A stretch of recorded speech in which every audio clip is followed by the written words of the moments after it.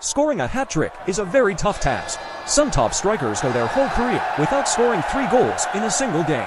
But some players make scoring hat tricks look easy. Take Cristiano Ronaldo, for example.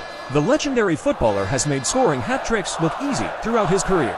He's taken the match ball home on numerous occasions since making his professional debut, and, now in his late 30s, is still adding to his talent. But how many hat tricks has Ronaldo scored? And who else has made scoring three goals in a single game look easy in the 21st century? View the 20 players with the most hat tricks by IFFHS. Klaas Jan Huntelaar, 18 hat tricks. Mario Gomez, 18 hat tricks. Sergio Aguero, 18 hat tricks. And Erling Haaland, 18 hat tricks. Greg Draper, 20 hat tricks. Firas Al-Khatib, 20 hat tricks. Zlatan Ibrahimovic, 20 hat tricks. And Abdurrazak Hamdallah, 21 hat tricks.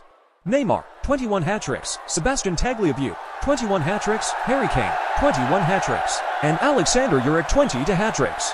Mark Lloyd Williams, 24 hat tricks. Vyacheslav Zahovaiko, 26 hat tricks. Ali Mabkhout, 27 hat tricks. And Luis Suarez, 30 hat tricks. Robert Lewandowski, 31 hat tricks. Ali Ashfaq, 35 hat tricks. Lionel Messi, 57 hat tricks. And Cristiano Ronaldo, 63 hat tricks.